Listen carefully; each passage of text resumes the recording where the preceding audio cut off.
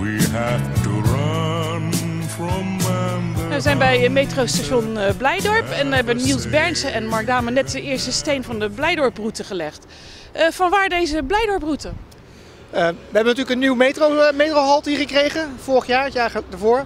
En we merkten dat veel mensen die hier naar buiten kwamen, voor de diergaarden, eigenlijk niet wisten waar kans op moesten lopen. En met deze ludieke stenen, die niet heel erg domineren, maar wel goed opvallen voor de mensen die ze moeten eh, vinden, ja, weten mensen beter de weg naar de diergaarden. Oké, want ik dacht ik zie daar zo'n bord hangen, maar dat is tijdelijk. Maar dat is dan geen optie omdat dat misschien te lelijk is.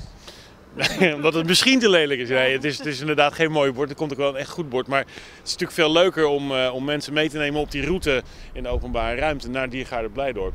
Eh, het voldoet voor ons aan een aantal ambities. We willen natuurlijk dat eigenlijk zoveel mogelijk mensen dat openbaar vervoer gebruiken. We willen heel graag dat mensen ook hier uitstappen. Dat is hartstikke goed voor die ondernemers. Dat ze dan even een lekker broodje kopen of een drankje kopen voor onderweg.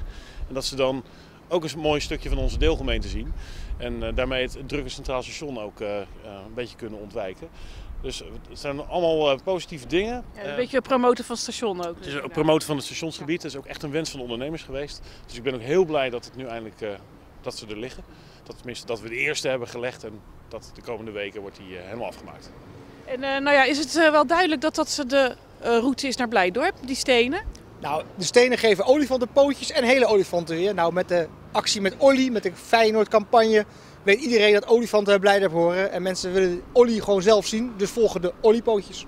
Dus daar is het ook op gebaseerd? Nee, dat is niet gebaseerd. Het is- Dit, eh, dit is best een lang traject geweest waar we met, eh, wat, wat geduurd heeft voordat het uiteindelijk gerealiseerd was. Want hier praat u wel over inderdaad de buitenruimte. En iedereen kan wel wat willen in die buitenruimte, maar dan wordt het een rommeltje. Dus dat ja, moet toch eventjes eh, goed bekeken worden. Eh, olifanten zijn al sinds de jaren 80 echt een symbool voor de dierentuin. Hè. Bernardine was in 1984 de eerste olifant die in de Nederlandse dierentuin geboren werd. Ja, en sindsdien heeft iedereen in Nederland olifanten en blij dat hoort bij elkaar. En hoe gaat het nou met Blijdorp? Blijven gaat het goed. We maken wel roerige tijden door natuurlijk, maar dat ma- maakt iedereen in Nederland eh, door. En de subsidie wordt natuurlijk flink afgebouwd. Daarnaast zien we dat mensen gewoon ja, toch kritisch zijn ten aanzien van geld uitgeven voor vrije tijdsbestedingen.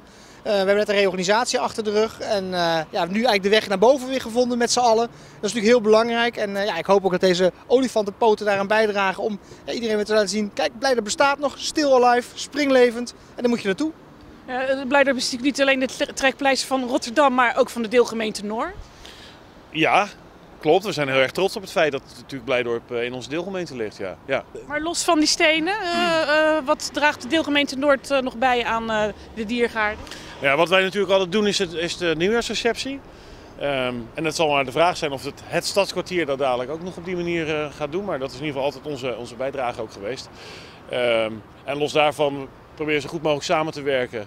Eh, zorgen dat de diergaarde optimaal eh, kan functioneren, bezoekers kan trekken en dat op een goede manier kan huisvesten. Ja, en een van de wensen is natuurlijk ook nog altijd om die tram ook weer terug te krijgen. Die tram, ik vind dat een tram hoort naar de diergaarde, zeker naar de oude ingang. Die tram 3 hoort daar gewoon nog steeds weer terug te komen. Om het ook weer makkelijker te maken voor mensen om eh, de diergaarde te bezoeken.